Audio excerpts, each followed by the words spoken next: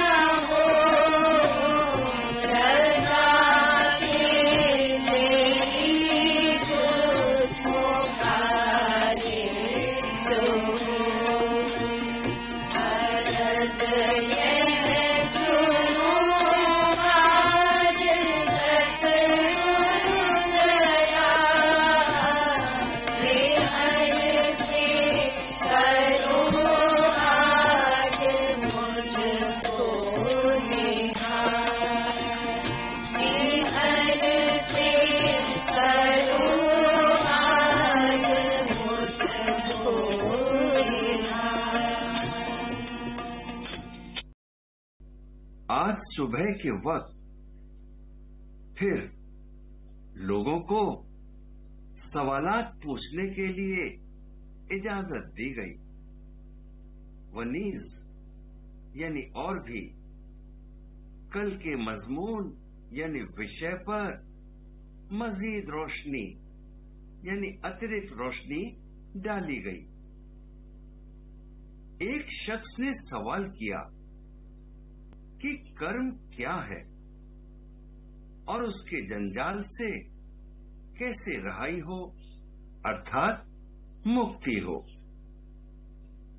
जवाब पाने पर उसने दूसरा सवाल किया, आया, मुक्ति हासिल करने के लिए रहबर, यानी मार्गदर्शक की हर किसी को ज़रूरत है।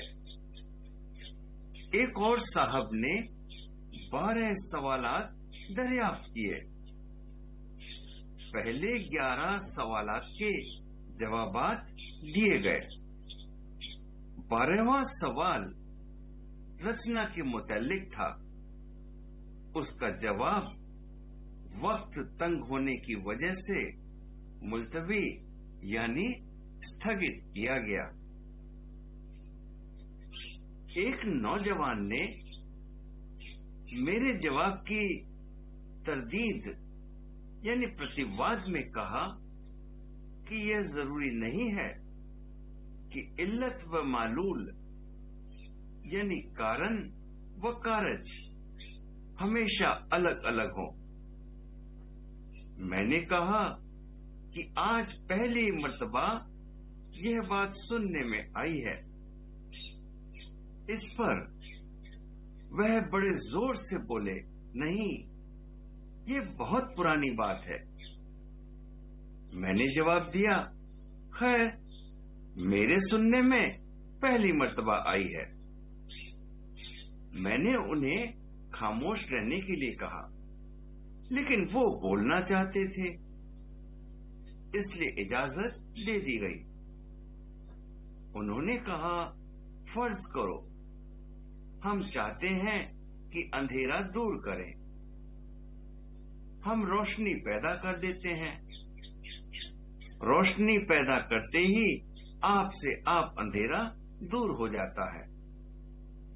इससे साबित है कि रोशनी का पैदा करना जो इल्लत है और अंधेरे का दूर होना जो मालूल है, एक ही बात है। मैंने कहा, नहीं तीन बातें हैं। अव्वल रोशनी पैदा करने का अमल, यानी कार्य, यानी दिया सलाई घिसना वगैरह, जो इल्लत है। दोयम रोशनी का पैदा होना जो मालूल है, उसके बाद रोशनी का पैदा होना इल्लत बनता है। और तीसरी बात, यानी अंधेरे का दूर होना जहूर में आता है। यह जवाब उनको पसंद आ गया। दरअसल यह बात महज लफ्जों का पेच है। अंधेरा रोशनी की जिद, यानी उल्टा है। जब हम कहते हैं कि हम अंधेरा दूर किया चाहते हैं तो दरअसल हम दो नफियों, यानी ऋणात्मक का इस्तेमाल करते हैं। और हमारा असली मतलब यह होता है कि हम रोशनी पैदा किया चाहते हैं। क्रमशः रा, ध, स्व, आ, मी। करो